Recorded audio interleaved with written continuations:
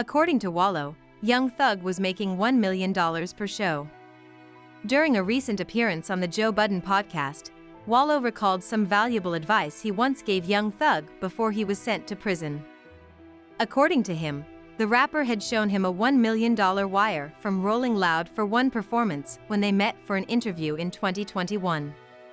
Young Thug also showed up with huge crew, prompting Wallo to impart some of his wisdom. I'm looking at him like yo, you know what that mean? You know who you are?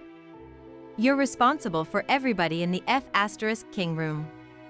You've got to be on point and you've got to be mindful of who you've got around you, Wallo explained. All the artists will tell you I said this, Durk, Young Thug, everybody. I'll be like, why you got all these N asterisk asterisk asterisk asterisk S with you?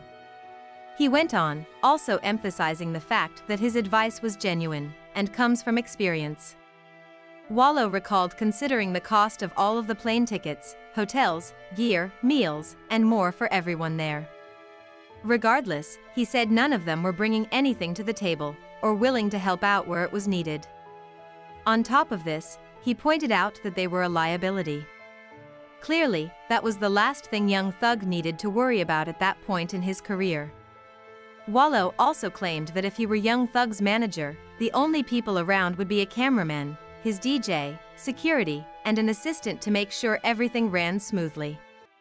What do you think of Wallo claiming that Young Thug showed him a $1 million wire to perform at Rolling Loud before going to prison? Are you surprised or not? What about him claiming that he advised Young Thug to keep his crew small? Do you think this was good advice? Share your thoughts in the comments section down below.